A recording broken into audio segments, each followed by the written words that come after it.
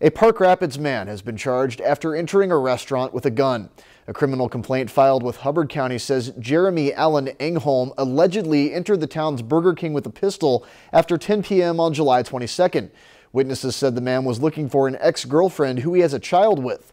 Engholm tried to find her when she hid in the back of the restaurant, but ended up heading outside when he heard police were coming, where he was then arrested. Nobody was hurt in the incident.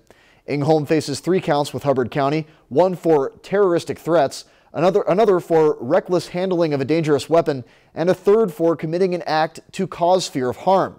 The threat charge carries a possible penalty of five years in prison and or a $10,000 fine. The complaint says Engholm told officers he went to the restaurant with the gun in an effort to get police to kill him.